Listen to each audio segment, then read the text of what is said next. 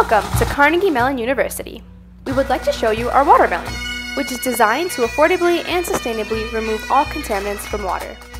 First, the water is pumped into the cube, entering an activated carbon filter sourced from coconuts. The carbon attracts organic and other non-polar compounds, as its large inner surface area gives it a high adsorption capacity. This filter can be reactivated, which allows it to be recycled to reduce waste.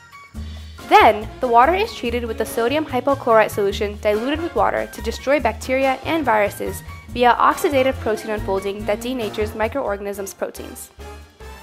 The second activated carbon unit removes excess sodium hypochlorite and any remaining contaminants while also reducing odor. Additionally, the watermelon has the potential for parallel purification.